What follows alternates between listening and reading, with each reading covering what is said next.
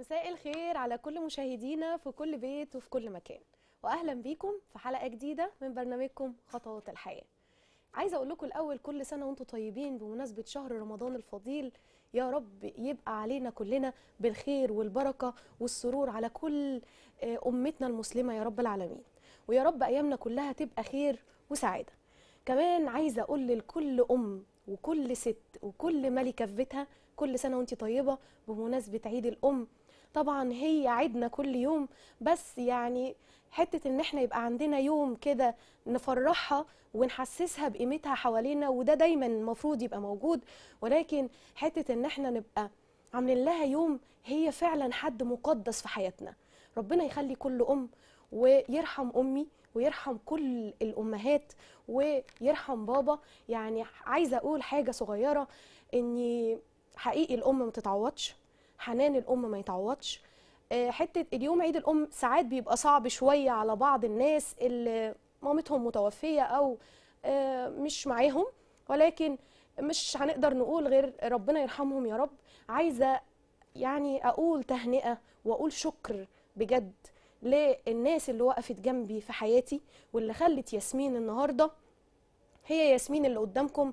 بشكر عمتي يعني هي الشخص الداعم الأساسي هي اللي ربتني من بعد وفاة ماما وبجد هي تستاهل. أنا نفسي كانت تبقى موجودة معايا وأعمل لها تكريم لأن هي تستاهل حقيقي كتير جدا. ويرحم بابا طبعا. اللي أخذ المسيرة بعد وفاة ماما وكان هو الظهر والسند ربنا يرحمه. كمان في حد ليه دور مهم جدا جدا جدا هي أمي التانية. ربنا يخليها لينا ويخلي عمتي لينا. وأنتوا بجد الاتنين اللي خلتونا نبقى في المكانة دي بفضلكم وبفضل تربيتكم المحترمة وتربيتكم الصح. علمتونا يعني إيه مبادئ يعني إيه نخطي خطواتنا صح ونفضل يعني إن إحنا نرضي ربنا ودي دايما اللي كانوا بيحطوها آه، فينا إن إحنا نحط ربنا قدامنا ونخاف على الناس ونخاف على بعض. حقيقي أنا بشكركم وأسفة على الكلمة اللي أنا بقولها جزمتكم على راسي من فوق. كل سنة وأنتم طيبين وكل سنة وكل ام طيبة. آه، حلقتي النهارده كمان لكل ملكاتي وحبايب قلبي اللي دايما هم أول حاجة عندي. هطلع تقرير صغير نعرف ضيفتنا معانا النهارده هي مين؟ ونرجع تاني. Thank you.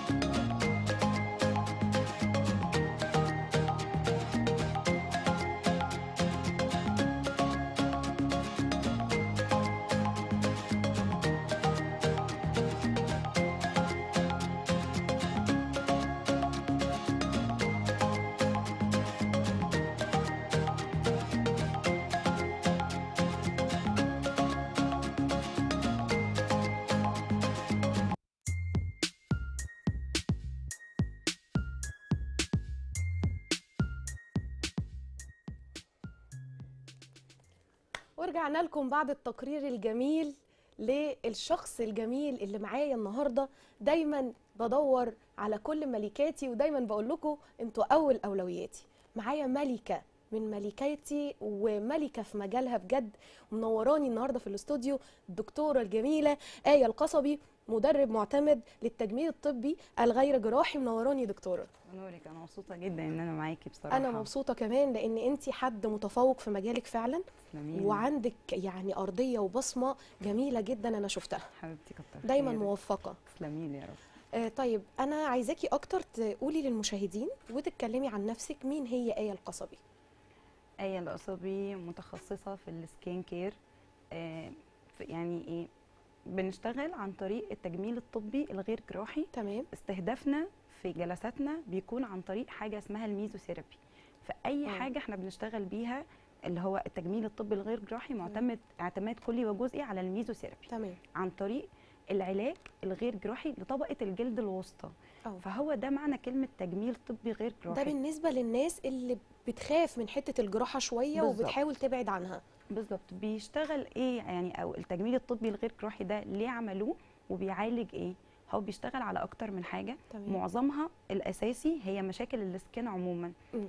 أول ما اتعمل الميزوثيرابي اتعمل خاص بال lipo أو بالتخسيس. فعلا بعد أنا كده كنت آه. بسمع ده. إن هو آه. للتخسيس أول مرة أسمع إن هو للبشرة بقى دلوقتي لا هو الميزوثيرابي كلمة ميزوثيرابي هي. مقسومة لشقين تمام آه، العلاج عن طريق الطبقة الوسطى للجلد لأن طبقات الجلد. هم ثلاث طبقات أساسيين epidermis و dermis و hypodermis. إحنا بنستهدف طبقة ال dermis علشان خاطر نشتغل على الأوعية والشرايين تمام آه، عن طريق دخول العلاج ده بنستخدمه بأدوات في منها أدوات مصرحة لينا إحنا ك therapist في. أدوات مصرحة للدكاترة الأدوات المصرحه لينا ك therapist يعني هي ده حاجة ده يعني هو منقسم كتخسيس ده في في سكته وك للبشره ولل كلمة ميزوثيرابي عموما آه. زي كلمة برنامج. البرنامج أنواع الميزوثيرابي مش أنواع. نوع مش نوع حاجة زي ما لا. مثلا إحنا بنسمع ففاهمين إن هي ده لا، حاجة لا، معينة. هو لا ده منشق منه. كذا حاجة. بالظبط كده. تمام. لاكتر بقى من مشكلة كل مشكلة بتتوظف على حسب المشاكل اللي بيمر بيها ال patient أو الحالة بتاعته صحيا تمام. لأن في أنواع كتير قوي ما بتتماشاش مع معظم الحالات الصحية. فده كلمة يعني بناء عليه إحنا تصنفنا بنشتغل في مجال التجميل الطبي الغير جراحي. تمام. لأن شغلنا كله بيبقى عن طريق طبقة الجلد الثانية مش طبقة الجلد الأولى. أنا سمعت إن انت كمان متخصصة في ال dermatology dermatology هو بالظبط. المفروض ال dermatology وال cosmetology هما القسمين أو الشقين اللي بيندرجوا تحتيهم كلمة تجميل طبي غير جراحي تمام آه، ال dermatology آه، خاصة شوية بمشاكل أعمق في ال skin. آه، زي ال lines الخطوط. آه، ال- التصبغات العميقة آه، المشاكل الخاصة بال double chin مم. تجويف تحت العين آه. شوية مشاكل عميقة وفي مشاكل بسيطة. ده بالنسبة لل derma آه لا ال dermatology ده علم. آه. إنما ال derma pen دي أداة. آه ال derma pen دي آه دي أداة. أداة. إنما ال dermatology هو آه. علم وال cosmetology هو علم. علم تاني. وكل علم فيهم ليه techniques كتير قوي في الشغل وكل حد ليه مدرسة بيمشي فيها. مهم جدا يا دكتور إن انت الفكرة ما تبقاش إني أنا واخدة الموضوع هواية وأنا بحاول أشوف أي حاجة وأعملها. لا انت دارسة دارسة الحاجة ديت علشان تقدري توصليها صح. وتدي نتيجة آه، مظبوطة للناس. يعني مش عايزين فكرة إن أنا أروح لأي حد أو مثلا أروح لكوافير عادي آه، أو أقول لها مثلا أنا سمعت إن في كذا اعملي لي كذا. في ناس بتعمل كده بتبوظ بشرتها وبتضيع بمعنى أصح. بصي هو التجميل عموما آه، زمان قوي كان كوافير بس. من فترة كده بدأوا يعملوا شوية انشقاقات لكل حد خاص بمجال التجميل. تمام. في مجالنا إحنا بقى في التجميل الطبي الغير جراحي متقسم ثلاثة تمام. الناس اللي بتشتغل بس nettoyage أو تنظيف البشرة بس. مم. تنظيف البشرة ممكن يتعمل في beauty salon مش في بالظبط. الكوافير. آه. بس لا أنا أنا جبت لك كلمة. كوافير فعلا لأن ده دارج عند بنات كتير. ممكن تكون بنت وسنها صغير وبشرتها نقية وحلوة جدا بس هي سمعت عن حاجة فأنا عايزة أجرب. دول بيجوا لي كتير في آه، المركز. يعني هم. آه حالات كتير قوي بتيجي متبهدلة لأن اللي قدامهم مش, مش قادر. يشخص. بالظبط. هو انت شخصي حالة واسألي بقى عن شوية آه، آه، lifestyle كده اللي قدامك بيمشي عليها وبناء عليه متخصص. آه لأ لازم تبقى عارفة كمان هي ال- ال lifestyle بتاعتها إيه. يعني لو هي عندها acne طيب انت بتاكلي إيه؟ بتشربي إيه؟ آه، آه، بتحبي إيه في يومك؟ بتاخدي أدوية إيه؟ آه، آه، أخبار هرموناتك إيه؟ طب الغدة؟ طيب آه، عندك تكيس يعني انت في مش. الفكرة ان انت بتحطي يعني بيجي العميل انت عايزة إيه تعالي هعمل لك كذا لا انت بتدوري وراها في صحتها هو الفحص اتنين فحص آه. داخلي وفحص خارجي آه طبعا فحص الجلد ده بعيني.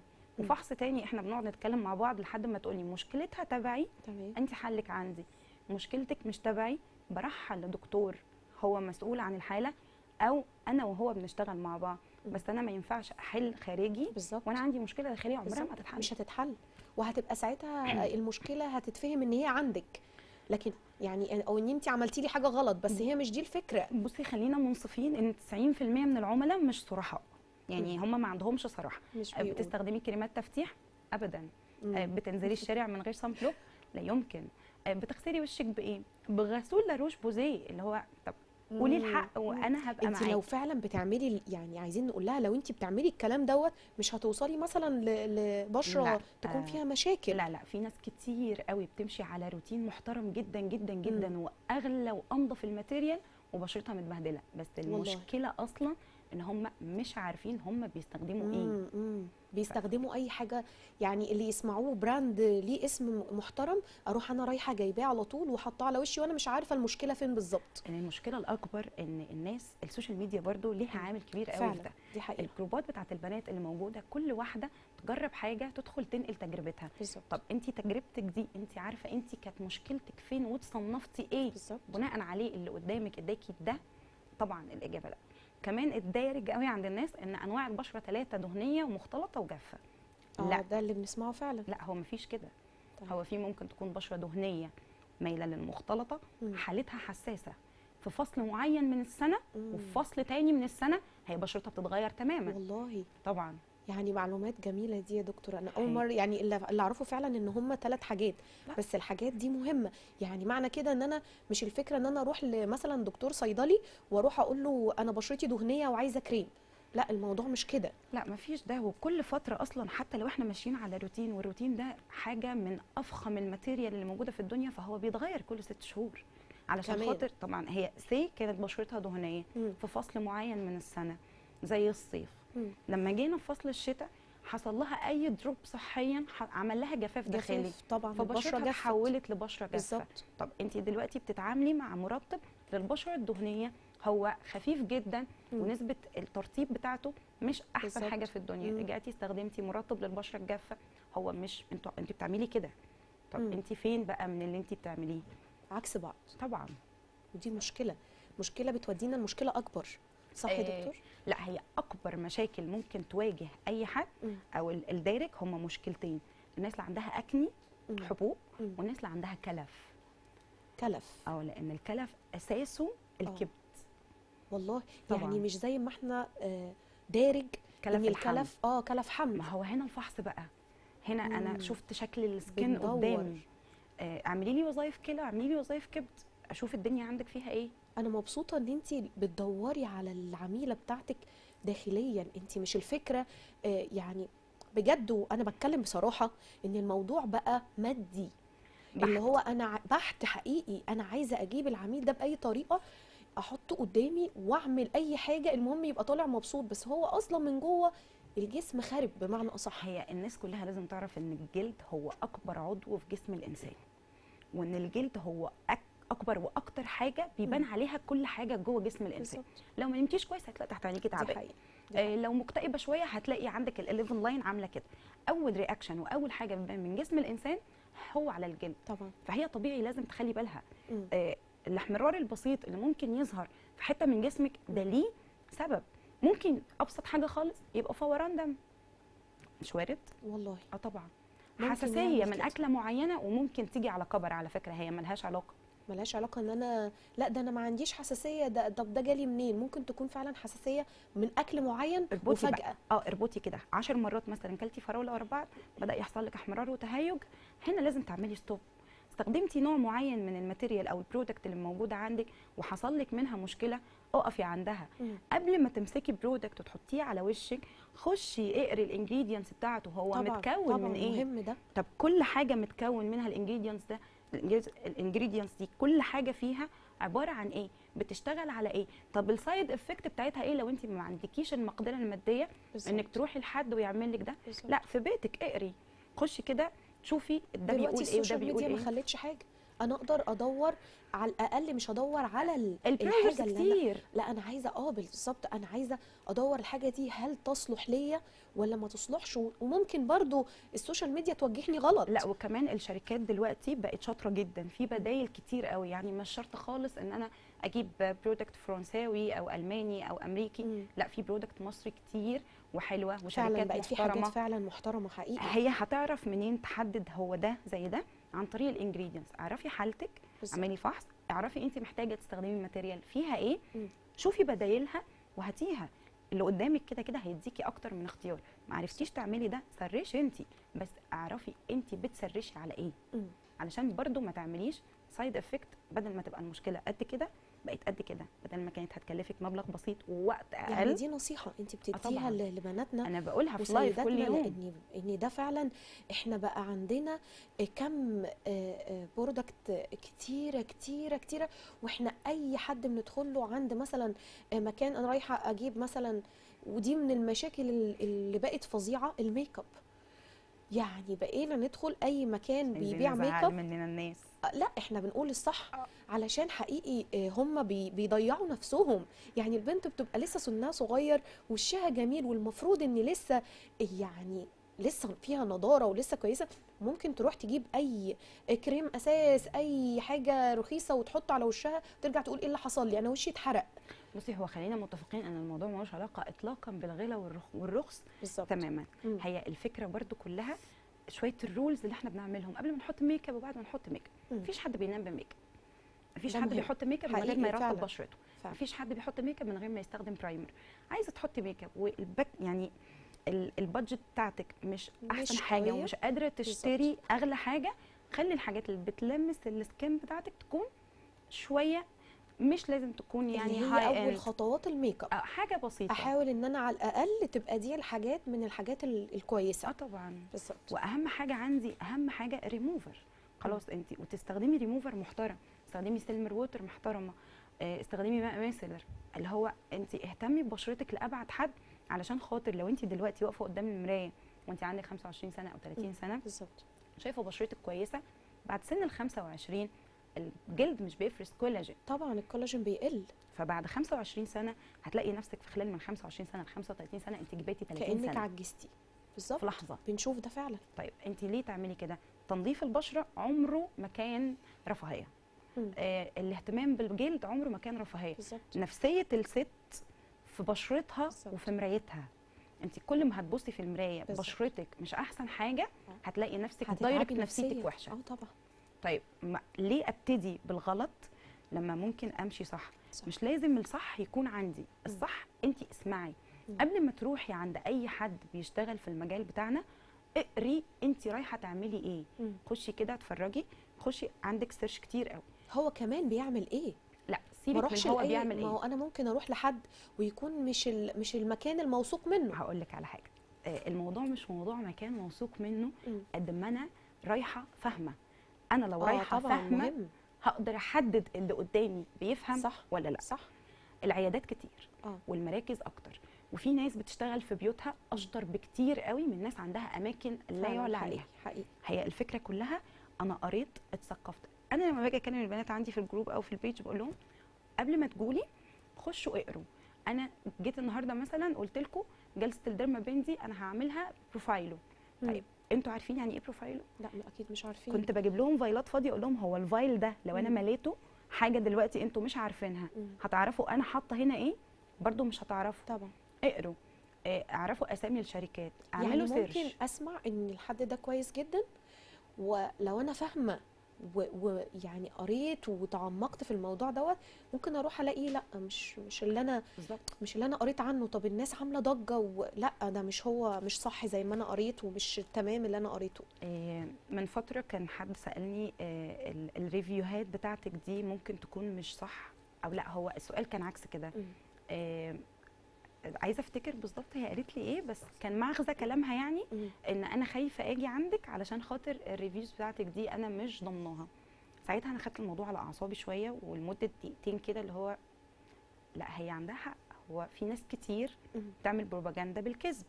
دي حقيقة. آه، فلأ طيب قلت لها طيب بصي تعالي بس نتكلم مع بعض شوية. تمام. جت قالت لي أنا رحت عند حد وحد وحد وحد وكل حد صنف لي حالتي بشكل. قلت لها أنا مش هديكي تصنيف إحنا هنعمل session شوف رد فعل الجلد جلدك بقى هو اللي هيقول لنا مشكلتك فين بالظبط فهي فضلت هو. بدأت كده آه. بدأت كده لا دي دي فاهمة لا أنا أنا ما أنا ما أنا, أنا كنت عارفة مشكلتها فين بس أنا ما آه. قلتلهاش مشكلتها فين لأن الناس الودانية زيادة عن آه اللازم المشكلة دي آه مهما عملتي معاهم هي عمرها ما هتقتنع أصلا بالظبط. باللي انت بتقوليه فانت هت... هتخليها طول الوقت قلقانة وطول الوقت بتحاول تسأل ناس وتسأل بالظبط. ومحدش هيديها الكلام انت الصح عايزة تحوليها لروبوت بيقول حاضر بالظبط. فانت. لازم توريها نتيجة ونتيجة مبهرة.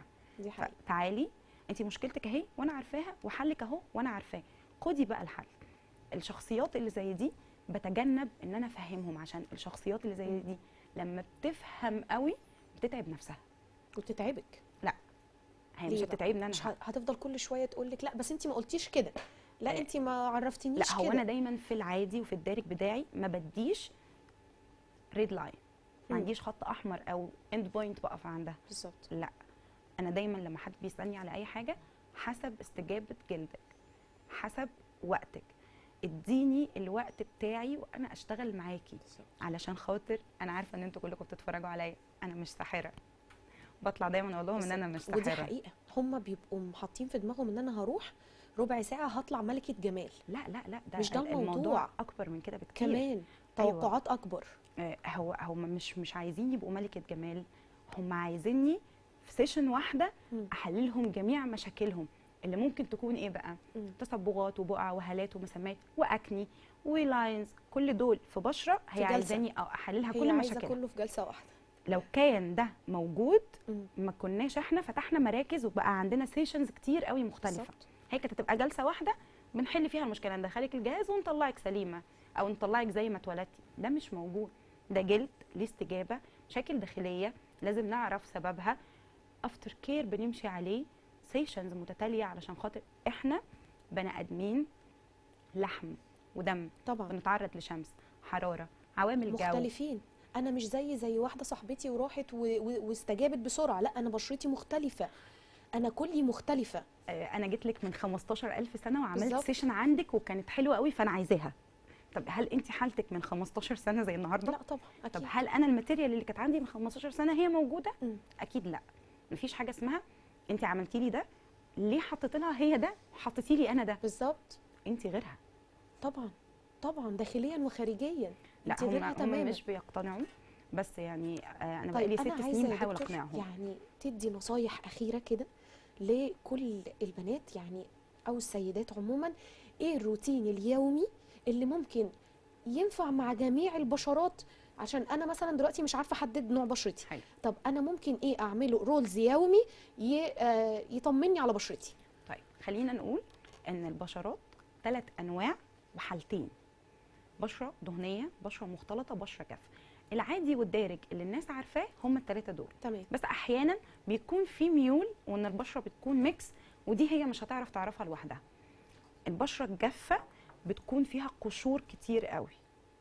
تمام؟ تمام. والبشرة الحلقة الدهنية؟ بتخلص. أنا آسفة.